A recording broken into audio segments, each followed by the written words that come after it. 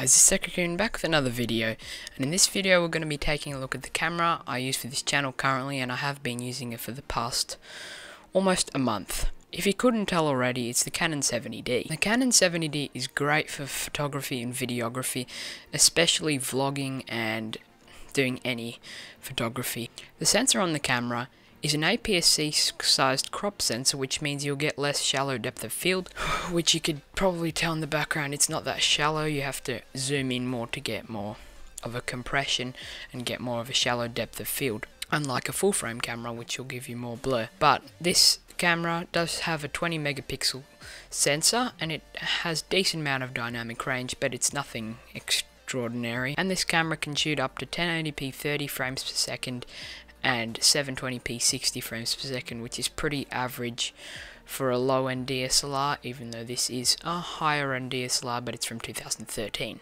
One thing that does make this camera great for YouTube and vlogging is its articulating display, which articulates on the side and it has quite a high pixel density. It is also a touchscreen, so it's really good, very easy to navigate through the menus as well because it's Canon menu system, so very easy to navigate. Then this camera also has a mic input which is really good but I currently don't use it because I need to get like a mic that you could put on up there like a Rode or something.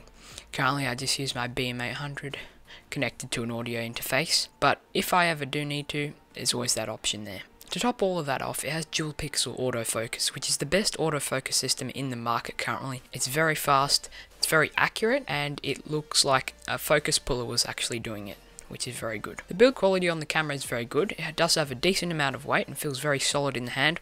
Although it is made out of strong plastic, it is still reinforced by aluminium on the inside, which gives it that extra weight. This camera is also water resistant and it's also dust resistant as well. So as you can probably tell, I really do love this camera. It has everything I need in a camera which is really good. And better still, it only costs around $400, which is what I picked up mine for, but usually you'll have to pay about 500 Yeah it's quite good value for what you get. So who would I recommend this camera for?